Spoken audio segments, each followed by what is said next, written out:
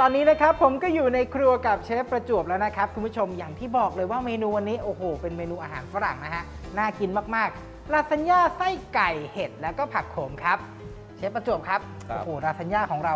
หลากหลายจริง ๆ ปกติก็จะเป็นไส้เนื้อใช่ไหมฮะอ่าฮะบูล็อกเนสไส้ไก่ไก่ไส้เห็ดแต่อันนี้เรารวม3อย่างเลยก็เป็นเนื้อสัตว์ด้วยแล้วก็มีผักด้วยนะครับก็ทำลาซานญ่าแต่มันความพิเศษใช่ไหมฮะเชฟ คือเราจะใช้แป้งเกี๊ยว แผ่นเกี๊ยวแบบ ที่เรากินก๋วยเตี๋ยวแล้วเขาเสิร์ฟมาอย่างนี้เหรอถูกต้องทำไมอะแล้วเชฟเราเอามาทำลาซานญ่าได้ยังไงโอ้โหอันนี้ก็เป็นเรื่องยาวอ๋อเรื่องยาวที่เชกิดฟขึ้มีนมีสตอรี่โอเคมาอ่าโอเคขั้นตอนแรกนะครับคุณผู้ชมเราจะทำลาซานญ่าแต่ตอนนี้จะทำในส่วนของไส้ไส้ก่ก่ออนนเราต้องเริ่มจากน้ำมันถั่วเหลืองตรามรกตนะครับ สังเกตง่ายๆฟ้าสีเหลืองแบบนี้นะครับ ผัดอร่อยทุกเมนูเลยล่ะครับ โอเค ช่วยเอาหอมแดงใส่ให้ผมหน่อยได้เลยครับ น้ำมันเริ่มร้อนนะฮะ ตามด้วยหอมแดงสับละเอียดแบบนี้เลยครับ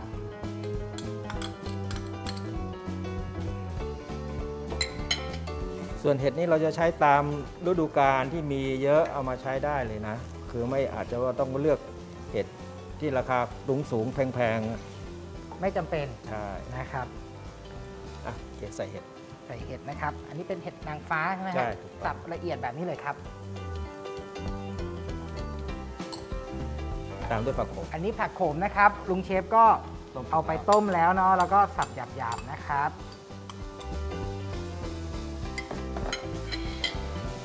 โอเค ตามด้วยเนื้อไก่โอเคครับ อันนี้เป็นเนื้อไก่บดนะครับใส่ลงไปครับ ปกติเราผัดอาหารเราก็จะใช้เนื้อสัตว์เนี่ยลงไปก่อนอืมที่จะอะไรครับ แต่นี่คือเราต้องการผัดผักเห็ดที่มันมีความชื้นอ๋อ แล้วก็จะมีน้ำที่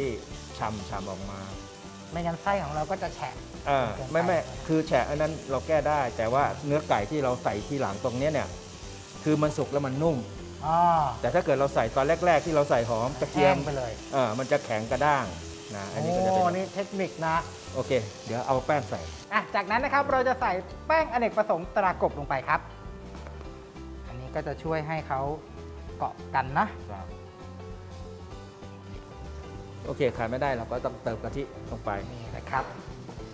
วันนี้นะครับเราใช้อัมพวากะทิร้อยเปอร์เซ็นต์นะครับ สีขาวเหมือนกะทิคั้นสดเลยครับ น่ากินมาก ๆ เลย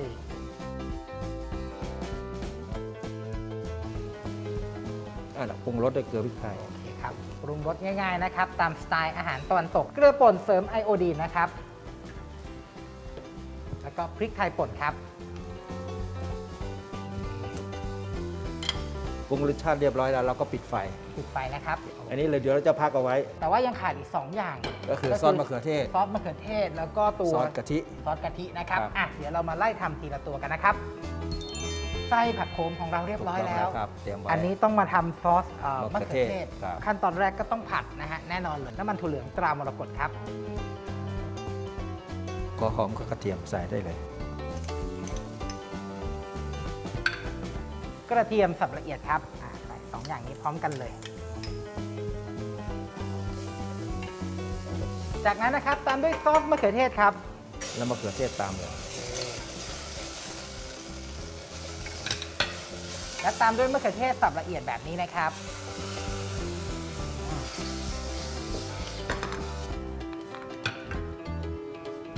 เราปรุงรสก่อนนะครับ คุณผู้ชมเกลือป่นเสริมไอโอดีนนะครับ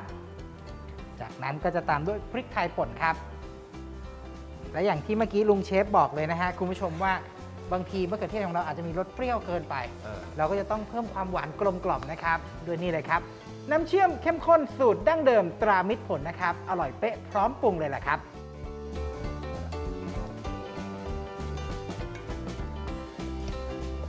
อันนี้เราพร้อมที่จะเอาไปบดได้เลยนะได้ไปคปั่นรับได้เลยครับอะ โอเค พอเขานุ่มได้ที่ปุ๊บ อะเดี๋ยวเรามาปั่นตัวซอสมะเขือเทศให้เขาเนียนนะฮะครับโอเคครับค่อยๆตัดแบบนี้เลย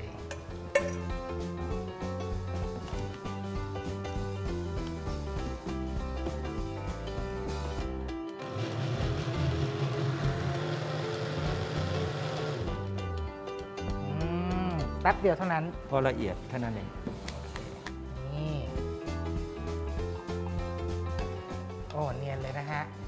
อันนี้เป็นอีกหนึ่งส่วนผสมของลาซานญ่าของเราในวันนี้นะครับซอสมะเขือเทศนะครับ เรียบร้อยละครับ ก็จะเหลือแค่ซอสกะทิอีกอย่างเดียวถูกต้องโอเคครับกะทินี่เราใส่ชีสด้วยนะอ่า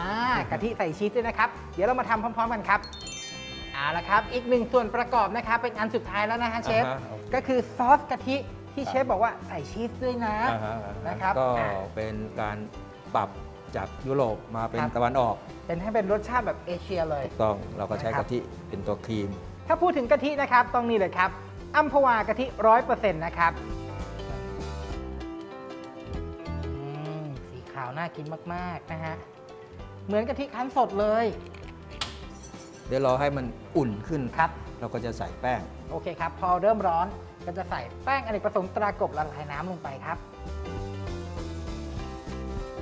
นี่ต้องรีบคนเลยนะ เดี๋ยวแป้งสุกนะฮะแล้วจะเป็นก้อนๆ คือเราอยากให้เขาข้นใช่ไหมครับเชถูฟกต้องลาซานญ่าฝรั่งจริง ๆ ตรงนี้จะเรียกว่าเป็นซอสนมหรือว่าเบเชเมลถูกต้องถูกไหมฮะถูกต้องอืมถ้ามีกะทิก็มาทำเป็นซอสกะทิแบบนี้ได้เลยแล้วก็ใส่ชีสลงไป เอาละปรุงรสด้วย อะปรุงรสก่อนนะครับ เป็นอ่าเกลือป่นเสริมไอโอดีนนะครับ แล้วตามด้วยกับนี่เลยชีสแบบป่น เก grated Parmesan cheese นะครับ อันนี้ก็จะได้ทั้งแบบโอ้โหกลิ่นหอมๆ แล้วก็รสชาติเค็มๆ มันๆ เนาะ อะอันนี้เราได้ละน่ากินมากเลยฮะ เอาเป็นว่าลาซานญ่าของเชฟตอนนี้เนี่ยส่วนประกอบครบหมดแล้ว ถูกต้อง เดี๋ยวเรามาดูขั้นตอนการทำฮะว่าเกี๊ยวกรอบจะมาเป็นลาซานญ่าได้ยังไงนะครับ มาเอาละครับลาซานญ่าแบบง่าย ๆนะครับมาครับ ขั้นตอนการทำก็อันนี้แป้งที่เราบอกเอ่ออะไรแป้งเกี๊ยวที่เราใช่ซื้อครับมาร้านก๋วยเตี๋ยวข้างๆเลย อ่าฮะ นี่จะเอาไส้ที่ผัดนะฮะลงก่อนก็คือ ไก่ผักโขมแล้วก็เห็ดนะครับโอเคแต่ต้องอันนี้ต้องเบามือนิดนึงนะเดี๋ยวแบบแปรกขึ้นมาแย่เลย แล้วก็มีแผ่นที่สองเอาละครับแผ่นที่สองอืม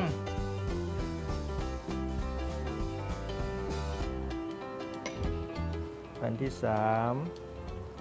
คือใช้โดยประมาณ 4 ชั้นสี่ชั้นนะแบคบรับเป็นในที่เรา เสิร์ฟแบบอาหารยุโรปนะฮะครับ ก็จะเป็นแป้งตลับไส้แป้งตลับไส้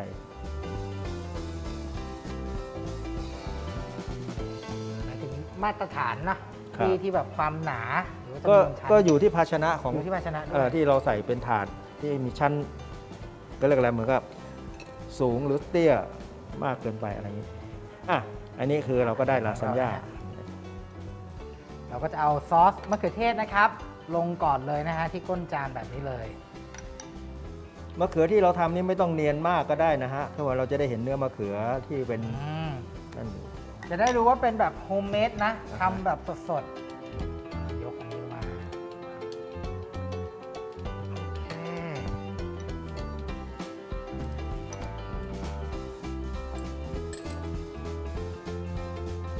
เพื่อให้ สมจริงว่าเป็นลาซานญ่า grated Parmesan cheese นะครับโรยด้านบนเลยหลังจากที่ราดซอสกะทิไป โอเคครับเราต้องมีเผาด้านหน้านิดนึงนะฮะโอเคแล้วก็ใช้มะเขือเทศตกแต่ง มะเขือนี่เราเอาไปจีไฟเล็กน้อยจีไฟมานิดนึงเออนะเพื่อให้ดูว่าอันเนี้ยมันผ่านความร้อนแล้ว โอเคครับ ก็จะดูเงาน่ากินขึ้นเนาะนี่นะโหระพานะครับแหม่สวยงามจริงเชียว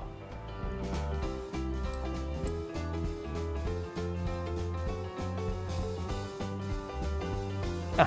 โอเคอืม หอมมากๆ ตอนนี้นะครับเรียบร้อยแล้วครับ คุณผู้ชมกับเมนูของเชฟประจวบและเท็ดดี้ในวันนี้นะครับลาซานญ่าวิ h ชิคเก้นมัชรูมแอนด์สปินัชนะครับ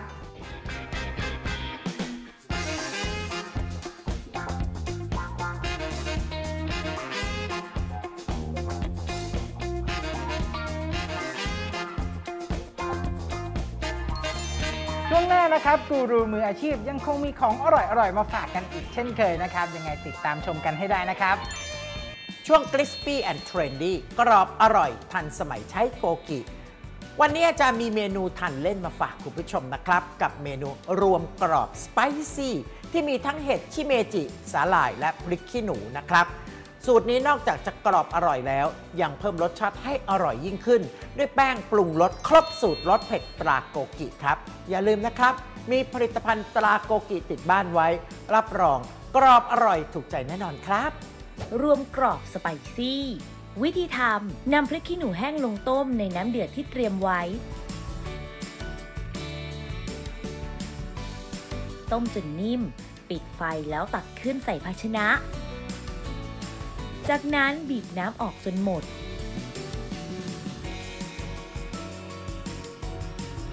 นำไปผึ่งลมพอหมาด ใส่พริกที่เตรียมไว้ลงในภาชนะ ตามด้วยงาขาวคั่ว เคล้าผสมให้เข้ากัน เตรียมไว้ค่ะ วางเห็ดลงบนภาชนะ จากนั้นกรีดเป็นรูปทรงแมงกะพรุนให้สวยงาม เตรียมไว้ ใส่แป้งปรุงรสครบสูตรรสเผ็ดราโกกิลงในภาชนะ ตามด้วยน้ำ คนผสมให้เข้ากัน เตรียมไว้ค่ะ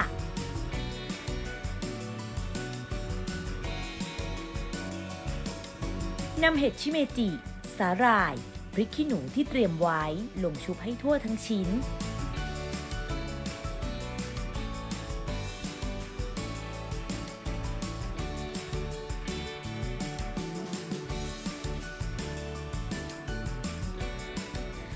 นั้นนำลงทอดในน้ำมันพืชที่อุ่นไว้ ทอดจนสุกเหลืองกรอบ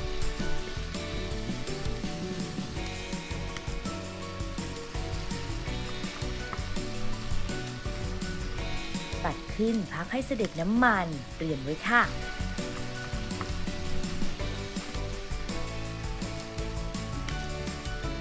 จัดรวมกรอบสไปซี่ใส่ภาชนะ รับประทานคู่กับน้ำจิ้มไก่ พร้อมเสิร์ฟค่ะ เสร็จเรียบร้อยแล้วค่ะทำง่ายมากๆเลยใช่ไหมล่ะคะ กรอบอร่อยทันสมัยใช้โกกินะคะ